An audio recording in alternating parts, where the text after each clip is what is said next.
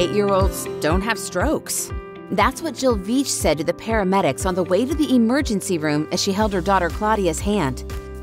Since that day in July 2017, Jill became her daughter's number one advocate and cheerleader. When Claudia was discharged from the hospital, Jill not only helped her daughter through a full recovery, but also became a tireless advocate for stroke survivors. Together, Jill and Claudia are raising awareness about pediatric stroke in their communities and across the nation. Every day, Jill looks for opportunities to share the warning signs of stroke via social media and public appearances. Jill has proved to be a relentless champion for her daughter's health and recovery, reminding everyone that caregivers deserve a round of applause too. Congratulations to Jill for being the 2020 Outstanding Caregiver Stroke Hero Award winner.